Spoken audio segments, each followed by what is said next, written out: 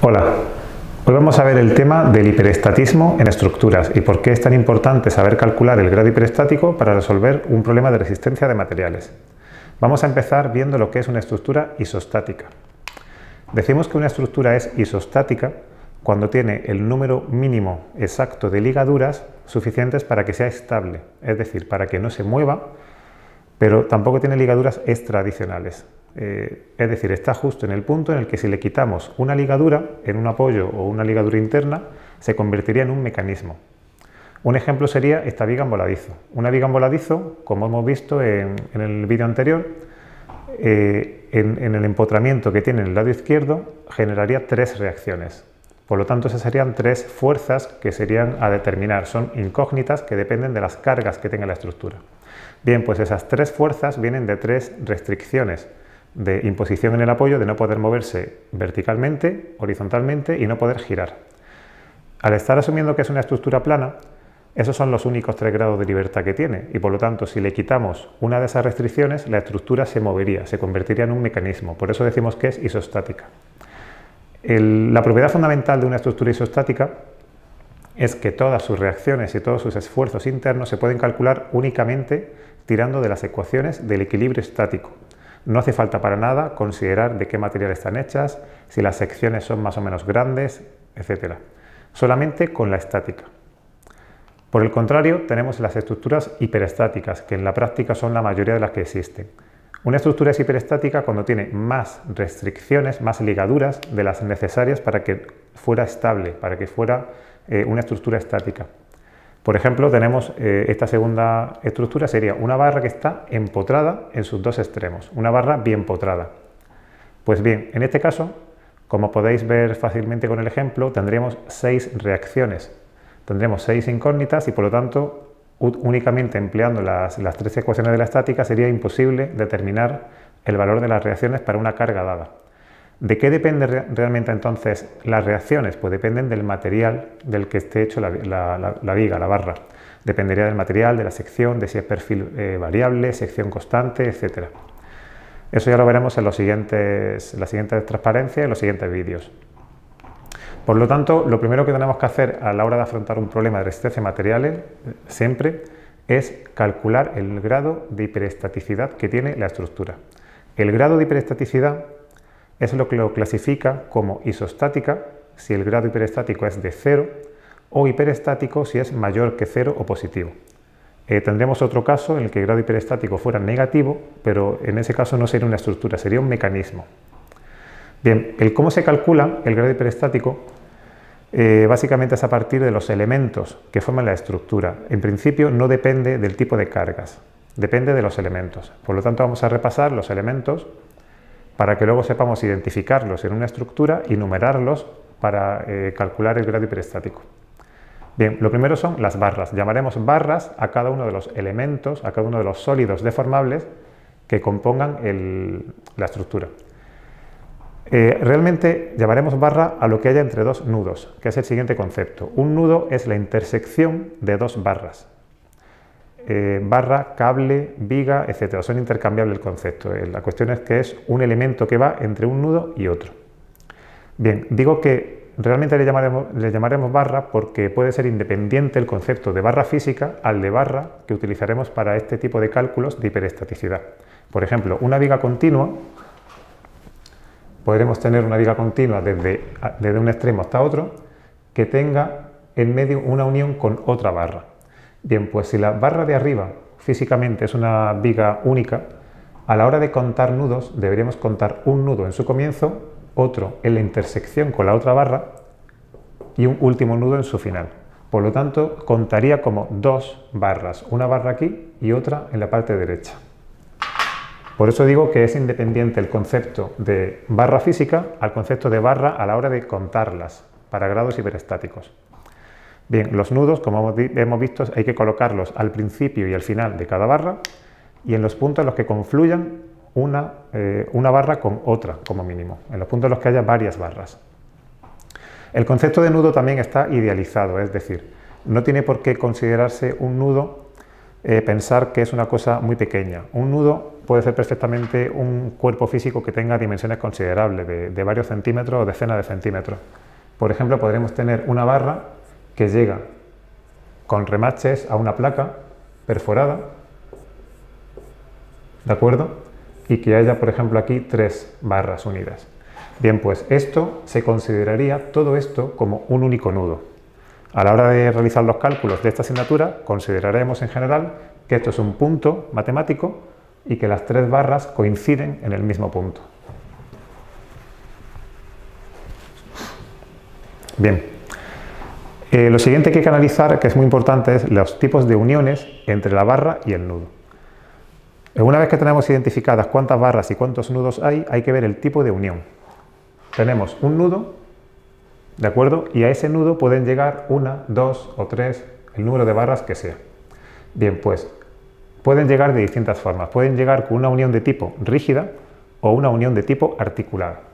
Por ejemplo, si fuera una unión rígida se dibujaría así, simplemente las barras como líneas rectas y significaría que la barra en ese punto no puede girar, que su giro está unido al de las demás barras que lleguen a ese nudo. Por el contrario, tenemos una unión articulada en la que cada barra llega de forma articulada al nudo y se dibuja con una especie de rótula.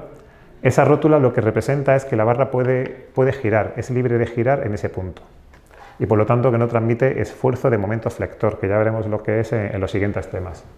Cuando todas las barras que van en un nudo se, unen de forma articulada, se suele dibujar una única, un único círculo, una única rótula o articulación en la que todas las barras confluyen. Pero eh, no tiene por qué siempre ser ser así. Podríamos tener un caso de dos barras que lleguen articuladas y otras dos barras que lleguen rígidas al mismo nudo. Esto contaría como un nudo con dos barras desconectadas, en la que su momento flector vale cero y son libres de girar, y otras dos en las que su giro está unido, tienen unión rígida. Por lo tanto, es importante desde el principio tener claro los tipos de uniones que puede tener una barra con un nudo. Y por último, eh, el elemento que nos queda por, para contar son los apoyos, que ya lo hemos visto en un vídeo anterior. Como sabéis, cada apoyo tiene un número de reacciones que lo determina el número de grado de libertad que restringe el movimiento de, la barra a la que va unida. Bien, pues empezamos eh, la definición de, grado hiperestático, ¿de acuerdo? Existe a tres niveles. Tenemos tres grados hiperestáticos realmente para una estructura dada. El grado hiperestático global, que digamos que es el importante, el que vale al fin y al cabo, y está compuesto de la suma de dos, de grado hiperestático interno y el externo. Entonces se utilizaría esta ecuación que viene aquí. Directamente es la suma. El grado hiperestático total de una estructura es la suma del grado hiperestático externo y el interno. Cada uno de estos, eh, especialmente el interno, puede ser positivo, negativo o cero, ¿de acuerdo? Dando lugar a distintas combinaciones de casos que luego veremos. Vamos a empezar viendo cómo se calcula el grado hiperestático externo, que es el más sencillo. En este caso, para estructuras planas, insisto, estas fórmulas valen solamente para estructuras en las que todas las estructuras tienen un plano y las cargas también, ¿de acuerdo? Bien, pues eh, en este caso el grado hiperestático externo se calcula como el número de reacciones, el número de fuerzas y de momentos, todo sumado, el número de grado de libertad restringidos los apoyos, menos 3. Al, al número de reacciones le llamaremos R, ¿de acuerdo? Por lo tanto, vemos simplemente que una, estructura que tenga en total tres ligaduras se considerará isostática, porque su grado externo, su grado hiperestático externo sería de cero y sería por lo tanto, como digo, isostático externamente. Bien, para calcular el grado hiperestático interno eh, realmente eh, no hay ninguna fórmula. Lo que se hace es que se, calcula el grado hiperestático global y luego se despeja el interno. Por lo tanto, vamos a ver primero una fórmula que nos permite calcular el grado hiperestático global de una estructura, que sería de esta forma. Sería calculando cuántas incógnitas, cuántas fuerzas existen en la estructura, que es el I, incógnitas, menos el número de ecuaciones que tengo para calcularlas.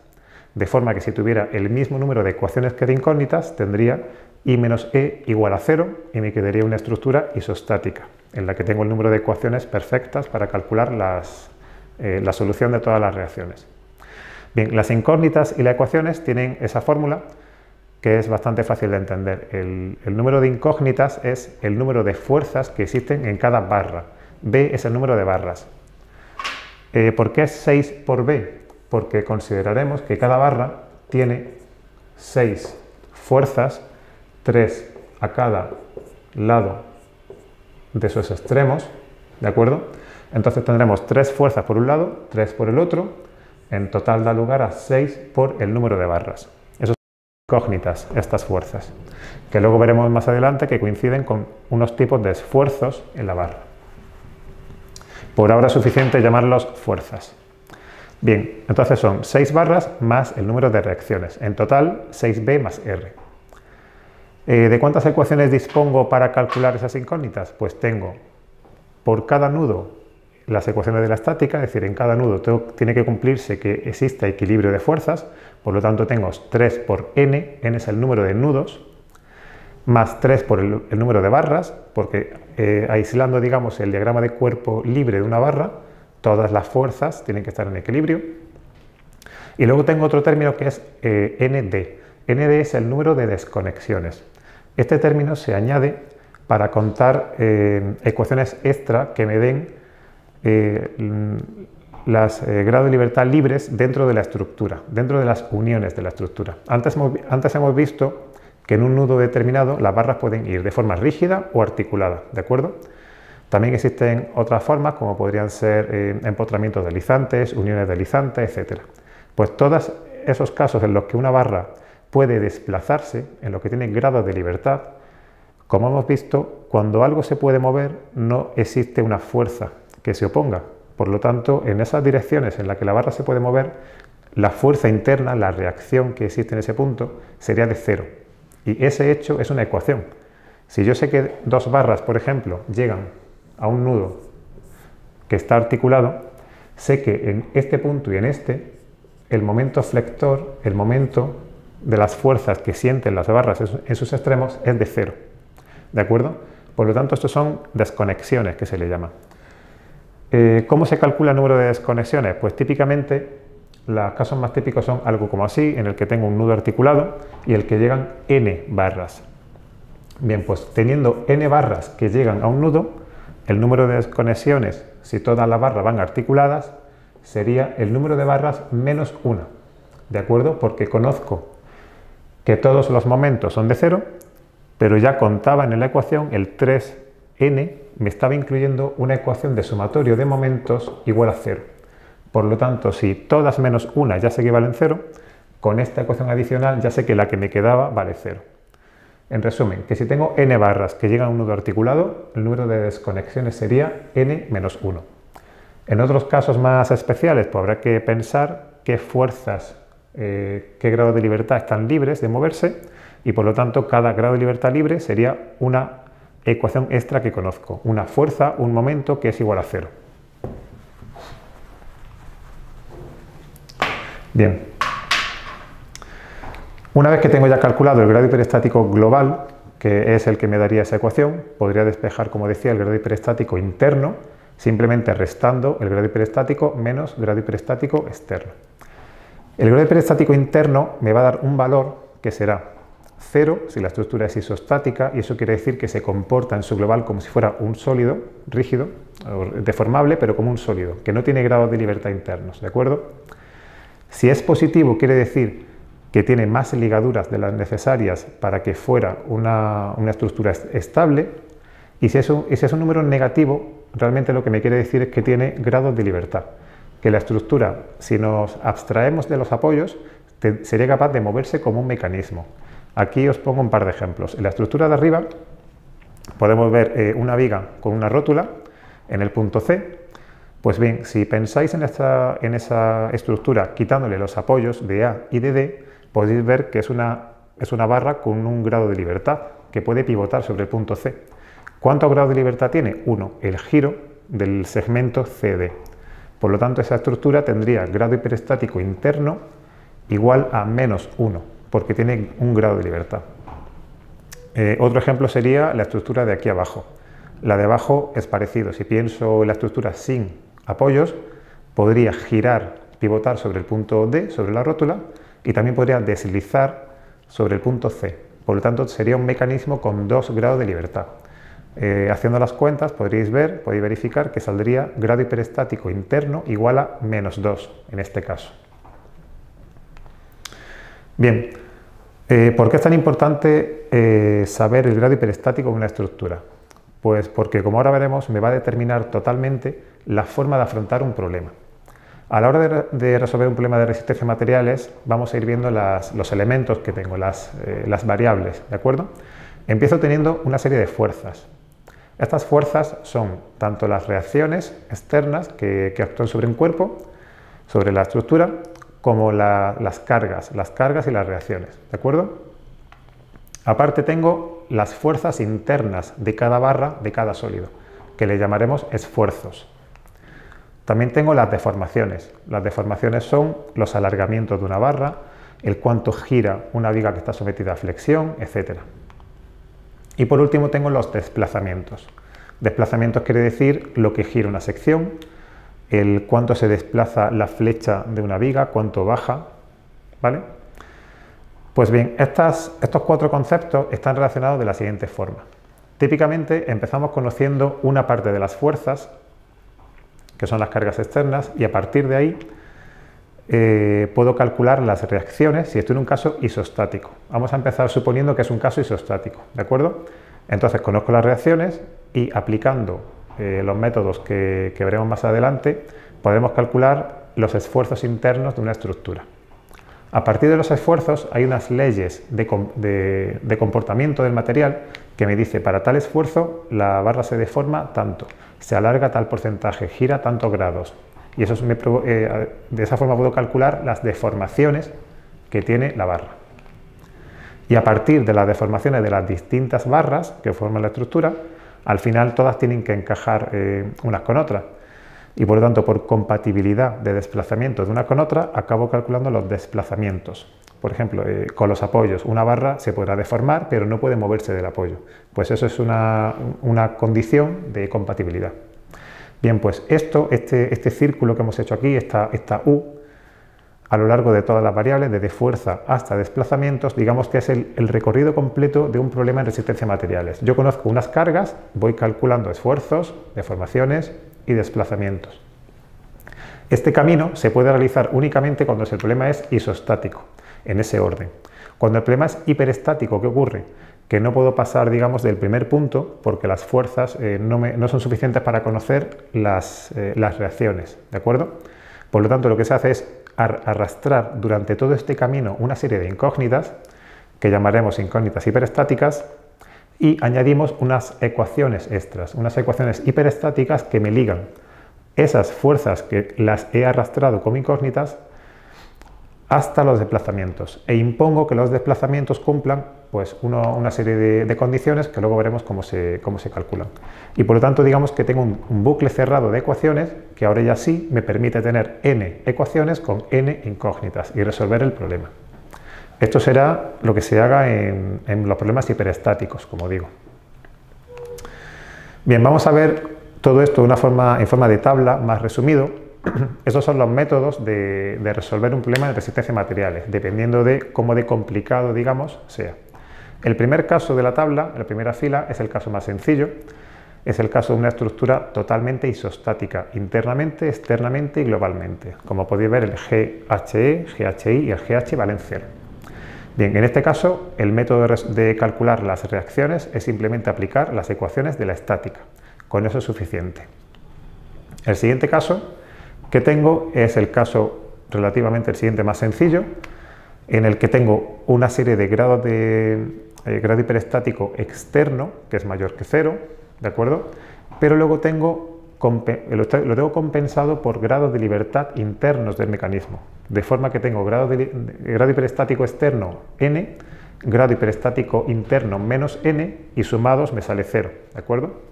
Siempre que me salga grado hiperestático 0 en el global, quiere decir que se puede resolver de forma estática, ¿de acuerdo? Aunque tenga hiperestaticidad interna o externa. Bien, pues en este caso lo que hay que hacer es aplicar las ecuaciones del equilibrio y me faltarán n ecuaciones, ¿de acuerdo? Porque si n es el grado hiperestático externo, Por la fórmula, si recordáis, es R menos 3, significa que me faltan R menos 3 eh, ecuaciones extra, ¿de acuerdo? ¿De dónde las saco? Pues las saco de las uniones, de las desconexiones de la, estructura. Volvamos al ejemplo de la rótula que hemos puesto antes. ¿no? Si tenemos una rótula, hemos dicho que en los dos, en las secciones que llegan de las barras a la rótula, sé que el momento vale cero, ¿de acuerdo? Pues en cualquiera de estos dos puntos puedo plantear un corte de la estructura y quedarme con una mitad de la estructura y decir que el momento flector el sumatorio del momento, flector no, el, momento a secas, en este punto mirando hacia la izquierda, por ejemplo, vale cero. Podría mirar hacia la izquierda o podría quedarme con la otra mitad de la estructura hacia abajo. Pero la cuestión es aprovechar el dato de que este momento sé que vale cero. ¿De acuerdo? Entonces, en cada desconexión, cada desconexión de la estructura me brinda una ecuación extra que la tengo que utilizar para, complementar a la del equilibrio estático y poder despejar la estructura.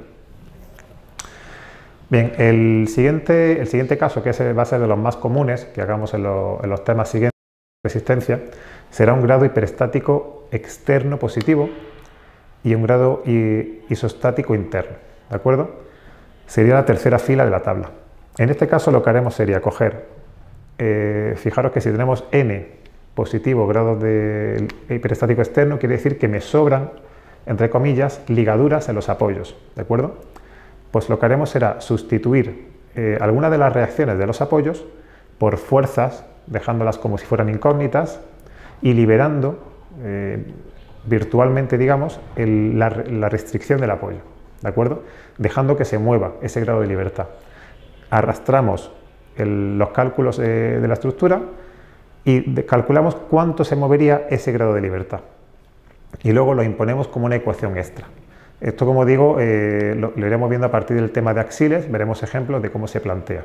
Depende del tipo de, del tipo de deformación, si, es axil, si es flexión, si es torsión, pues la ecuación será distinta, pero el procedimiento siempre será igual. Utilizaremos superposición y el principio de simplemente eso, de superposición y linealidad. Podemos descomponer si quitamos n reacciones, vamos calculando cada una de las reacciones que hemos quitado, su, efecto, los desplazamientos que provoca y luego imponemos que valga cero en el caso de que fuera un apoyo o lo que sea. ¿De acuerdo? el penúltimo caso, digamos que es la combinación del segundo y del tercero. Si tengo grados de libertad internos en el mecanismo, es decir, un grado, grado hiperestático interno negativo y un grado externo positivo que en conjunto me sigue saliendo positivo el saldo, quiere decir que tengo que primero aplicar el equilibrio estático de la estructura como siempre, segundo utilizar eh, las ecuaciones extra que me brindan los, las desconexiones y por último, aún así, tengo que seguir haciendo el tema de liberar apoyos y eh, imponer desplazamientos igual a cero. ¿De acuerdo? Y para terminar, el último caso es el caso en el que tenga grado hiperestáticos internos que no lo veremos en este curso, pero se resolvería utilizando el principio de los trabajos virtuales.